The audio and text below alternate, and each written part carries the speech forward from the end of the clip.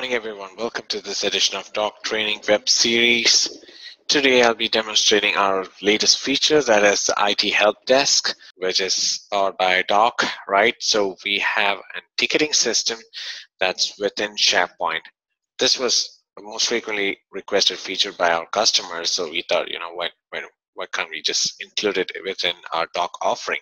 So here i am to show you a demo of our ticketing solution which is very straightforward easy to use and i'm pretty sure you know it's easier for the users to pick it up easily and get started.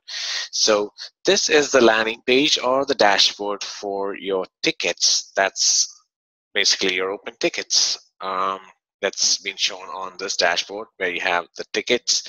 You have a place where you can add the new tickets right?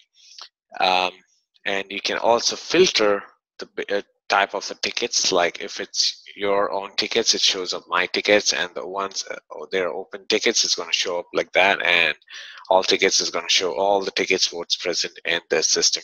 You can also search for the type of the ticket just by just typing the name of the ticket, right?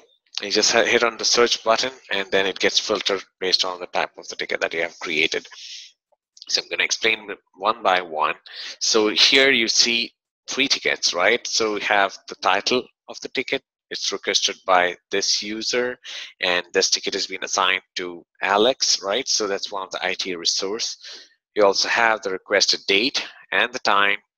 Uh, you also have the due date Uh, you can also set up the priority levels like urgent, low, normal, high, and these are customized based on your requirement, right? And also you can basically change the status right from the screen. You have resolved, new, in progress, reopen, and closed, right? So I'm going to click on the view more.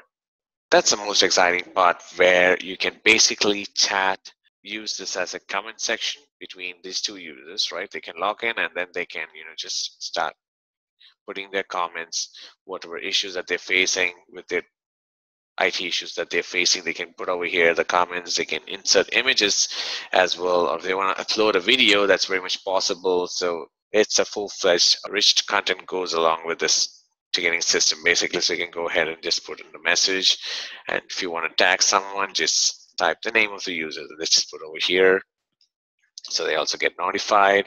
So something like that. And just click on post and then the user get notified he can come here and he can comment on whatever is happening over here. So basically another way of collaborating over here in the comment section.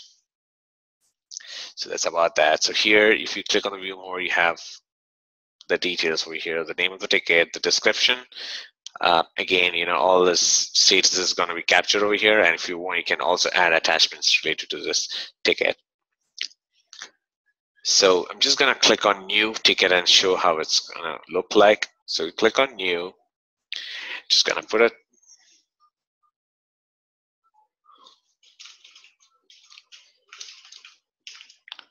right? So I'm just putting up a ticket and requested date is definitely this today. I have the time, I'm just gonna put it at.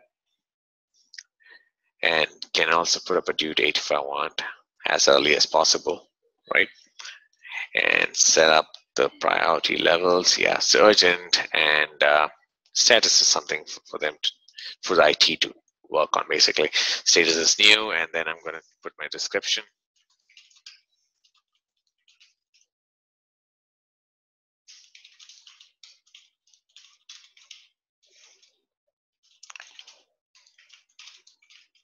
Something like that. I just click on save.